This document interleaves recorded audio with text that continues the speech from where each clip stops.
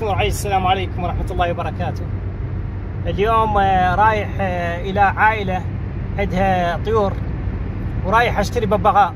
بصراحة هذا الببغاء أنا أول مرة أجنيه وما عندي تجربة وياه وإن شاء الله التوفيق من الله سبحانه وتعالى. راح آه، أكيد أول ما قررت أشتريه خذت لي ثلاث أسابيع أقرأ عنه معلومات أستفيد من عنده. وياي الأخ هوغو هوغو وأنا ماخذه وياي اعلمه الكلام. طريق تقريبا ساعة ونص. آه، دائما أردد عليه كلمة حبيبي.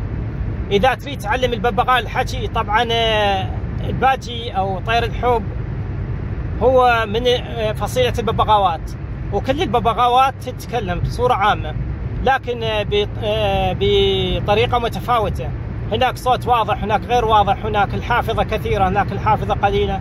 لكن الباجي أيضا من المتكلمين إذا كان أليف 100% يوقف على يدك ويمسح تمسح عليه يقبل فتعلمه النطق. إذا كمل سنة وأنت من صغره وتعلمه كلمة واحدة سهلة مثل أنا كله أقول له حبيبي حبيبي راح يتعلم النطق إن شاء الله. وأستمر وياه. وإذا تكلم إن شاء الله أنزل حلقة خاصة وإذا قدرت أصور المزرعة اللي رايح لها أو تربية الطيور. السلام عليكم. بعد طريق تقريبا ساعتين ونص مشيت. وياي البطل هوغو. الببغاء اللي اشتريته هو الببغاء الشمسي اللي يسمونه sun conure. اكو ناس يسمونه sun آه، parakeet. واخذت وياه الشهادة مالته. افضل شيء لي أنا فضله يكون ذكر. وهنا مكتوب آه، مواليد فقس يوم 4 6 2019 وهو ذكر. وبعض المعلومات موجودة مالته إنه يمتى طلعت له الشهادة وهاي أحسن شيء إنه مفحوص بالدي ان اي لأن جدا جدا صعب الواحد يميز بين آه، الكنيور الذكر والأنثى. ونشوف آه، الأيام كفيلة بالتعامل معاه والترويض والتدريب. وهذا من آه، الببغاوات الذكية واللعوبة تحب اللعب والمرح. والسلام عليكم. نسوي ورانا طريق البيت نرجع ونرتاح ونستقر هنا ما شاء الله الطريق جدا جميل. ما تحس به الوقت يمشي ما تحس به. لأن دائما خضار و...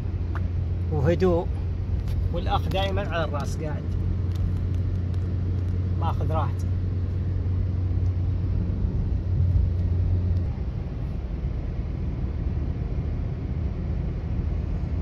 هذا طريق زراعي آه، أكثر المربين المزارع يربون طيور يربون حيوانات. أنا أختار طيوري من عندهم. لأن آه، تعاملهم يعني ممتاز ما بيغش أو شيء وصريحين بكل شيء. إذا عندهم الطائر عنده عيب يقول لك بصراحة ما يغشك. وأيضا آه، صحتهم ممتازة الطيور عندهم يربونهم. فلذلك أختار. وكذلك شنو الشغلة اللي حبيت أذكرها؟ انه رخيص اي العفو رخيص الأسعار رخيصة أحسن من باقي المحلات أو الإنترنت. أتعرف عليهم عن طريق أصدقاء أو يحطونهم مرات إعلان بالإنترنت وأخذ من عندهم. مساعة أنا تكلمت عن تلقين الببغاء الكلام.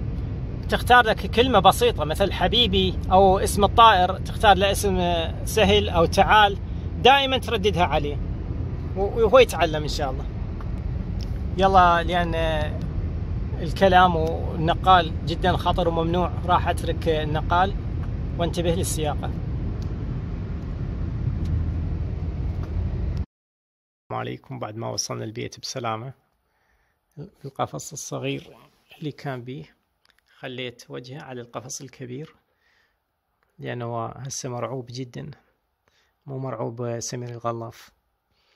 خليته قبال القفص الكبير حتى يدخل وحده بعد ماكو صيد لأن من اشتريته من عنده مكظة وخايف هو عمره تقريبا أربعة أشهر.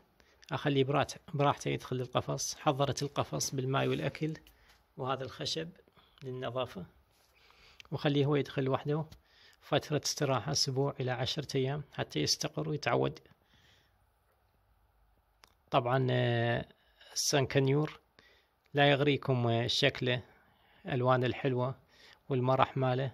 أيضا إذا واحد يريد يشتري لازم يدرس جميع النواحي السلبيات والإيجابيات الأشياء الزينة والأشياء الغير زينة. مثل الصوت المزعج يصارخ ومزاجي يحب بس اللي يعتني بيه يختارهم.